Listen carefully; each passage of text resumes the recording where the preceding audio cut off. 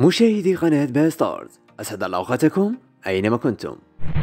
مدينة خنشلة تصنع الحدث في الأربع وعشرون ساعة الماضية وهذا بعد انتشار خبر عريس لم يحضر ضيوفه إلى العرس بحكم أنه فقير. هذا ما جعل والدته تتألم لهذا الموقف. أطلقت إحدى الصفحات نداء من أجل كورتاج العريس وقد كان هناك تجاوب كبير من أصحاب السيارات الفاخرة.